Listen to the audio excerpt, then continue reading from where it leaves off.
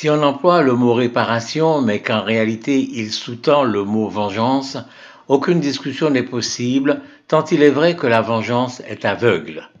Parlons donc seulement, concernant le chlordécone, de réparation, et parlons seulement à ceux qui ne pensent qu'à cela. Observons une fois encore que deux voies s'offrent à nous, martiniquais, la voie judiciaire et la voie politique. La voie judiciaire, c'est, en première instance, un non-lieu, on l'a vu. Nous sommes descendus dans la rue pour nous indigner, et en même temps que nous le disions ou non, c'est une évidence, en même temps, nous voulions faire pression sur les magistrats qui vont juger cette affaire en appel. Or, répétons-le, ce qui caractérise la démocratie, c'est précisément l'objectivité des juges et leur capacité à résister aux pressions que l'on fait sur eux. Ce qui caractérise également la justice, c'est qu'elle marche exactement au rythme qu'elle a choisi, et en France, elle a la réputation d'être lente, et elle semble s'évertuer parfois à justifier cette réputation. Rien que pour ça, la voie judiciaire n'est pas forcément la meilleure. On peut attendre, attendre pendant des années, ne rien voir venir et finalement voir venir la décision que l'on n'attendait pas. Alors on fait appel. Et on va attendre, attendre et attendre encore. Et la décision d'appel va arriver. Et peut-être ne sera-ce pas celle que nous attendons. Alors, on ira en cassation.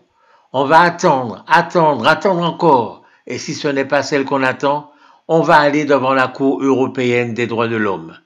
Et là, on va encore une fois attendre et attendre et attendre encore sans aucune garantie d'être gratifié de la bonne décision, de la décision que nous espérons. Ce n'est donc pas évident.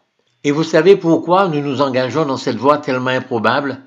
C'est, bien entendu, parce qu'il y a un certain nombre de professionnels du droit qui y ont intérêt, mais c'est également parce que nous, nous citoyens martiniquais, citoyens lambda, nous sommes incapables d'assumer à ce niveau-là un minimum de responsabilité. Assumer ce minimum de responsabilité, c'est simple. C'est se faire massivement tester au chlordécone pour savoir s'il est vrai ou non que nous sommes infestés par ce pesticide. Et si c'est le cas, nous demanderons réparation à l'État qui reconnaît déjà avoir commis une faute. Il y en a pour quelques mois avec cette méthode. Ça se règle d'un budget primitif à un autre budget primitif, de budget des Outre-mer à un autre budget des Outre-mer, ou de quelque autre façon que ce soit, que trouveront les technocrates. On peut être tenté de dire que l'un n'empêche pas l'autre. On peut poursuivre l'action judiciaire et dans le même temps l'action au niveau de l'État, certes. Mais dans les deux cas, le plus important de toute façon, c'est de prouver le préjudice, c'est-à-dire de se faire tester.